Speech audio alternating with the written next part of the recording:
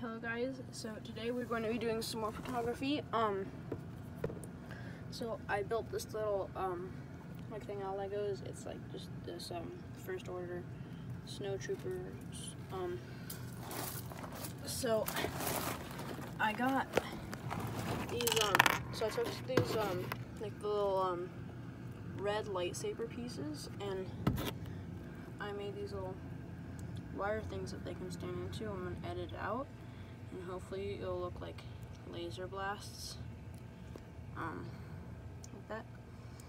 Um, I have it set up on this um, like cardboard box here?